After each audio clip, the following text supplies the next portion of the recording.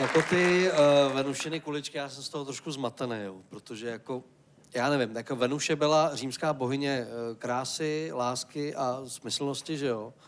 A ona jako měla koule? A já sem pozvu Daniela Ference!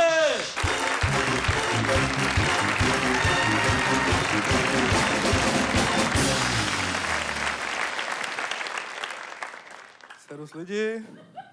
Já jsem ten nedávno přemýšlel nad tím a říkal jsem si, že nechci, aby se mi nikdy v životě stalo to, že bych snad byl někdy v životě tlustej. Ne, protože jako já jsem tlustej, ale ne tolik, sas, víš, jako, jako, já jsem jako vtipně tlustej, víš. Já jsem zatím vtipnej cvalda, prostě. Já to nechci dotáhnout jako do toho, abych jako, jako do té do fáze, když už to není ani vtipný, víš co, že, že jsi tak tlustý, že lidi na tebe čumějí, oh, můj bože, fuj. A teď si na mě ukazují, ne, hele, tlustěch. Takže jsem šťastný, jakoby. Ale zároveň mě to jako sere, že jsem trošku tlustý, protože, protože se mi dělou na hovno věci pořád, že jo, protože... Třeba nedávno, víte, co se mi stalo nedávno? Já jsem byl s nějakou holkou, teď jsem byl u ní, že jo, teď jsme byli na posteli, bla, bla, bla, pak jsem se z ní odkutálil, prostě a, a, a teď se oblíkám a natahu si trenky a ona na mě kouká a říká, fuj, ty máš ale hnusný trenky. Měl bys si koupit nějaký značkový hezký trenky. Říkám, more, myslíš si, že když si koupím nějaký značkový trenky, jako že budu najednou frajer, jako že to mě to vyrýsuje najednou, že budu jak David Beckham, jako... Ale ne, přesvědčila mě, jako byl jsem tam trošku nasranej teda, ale... Ale šel jsem, šel jsem si je koupit. Ona mi doporučila, že nejlepší trenky mají Calvin Klein, prostě, že to je top, prostě to se mám koupit. Já jsem tam přišel, tam přijdu, takový luxusní obchod docela hezký, teď tam ta prodavačka a říká, dobrý den, vítejte v Calvin Klein, co si budete přát? Kam nevím, more, nějaká šlapka mi řekla, si koupím trenky.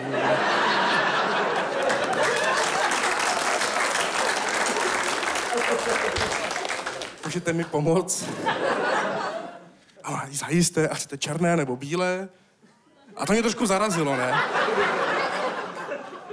Takhle drahý obchod a oni mají černý nebo bílý, víš co. Kam, Maria nakupuju v Pepku, víš co, tam má jakoby různý vzory.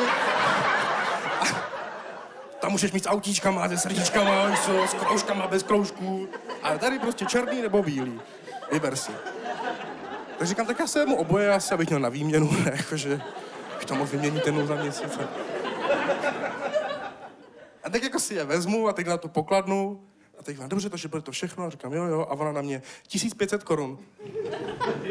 Říkám, cože? A na 1500 korun. Říkám, Mora, děláš si srandu, Mora, 1500 korun, dům mých rodičů v Ústí nad Labem stojí 1500 korun. Mora. A ty chceš za to trenky? Děláš si ze mě prdel? Mora, za 500 se ženu v Ústí garzonku, no, koupím, ty vole. Takže jsem přišel domů a teď jsem začal zkoumat ty trenky. Prostě úplně říkám, co je na vás tak úžasného, ty vado. Tak jsem mi začal porovnávat z toho Pepka, ne, s těma trenkama. Prostě. A, a teď to jako porovnávám, říkám, na jednou jsem autíčka, na druhým ne. Jedny stojí 20 korun, druhý 350 milionů. Tak jsem si jako vyzkoušel a teď, jak jsem si je nasadil, tak jsem se začal hrozně cítit, jako že úplně... Říkám, ty krávo, no. A teď si chodím na ne, po obýváku, úplně na sebe koukám, jak se tam vykračuju, jak krocan, víš co, najednou. Úplně, říkám, ty jo, jsem fešák a teď jako imaginárně mluvím na holky prostě. Ahoj, holky. Já jsem Kelvin Klein. Nevím, kdo Kelvin Klein je, ale určitě to musí být frajer. Já jsem Kelvin Ferenc.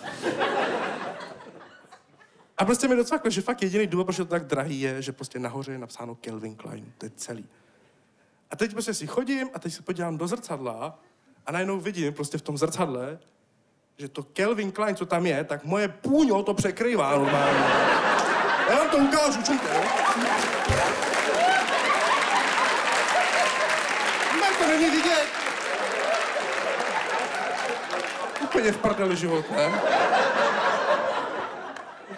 Takže jsem mohl mít barák v ústí a místo toho mám hovno. Děkuju vám, jste úžasný, mějte se.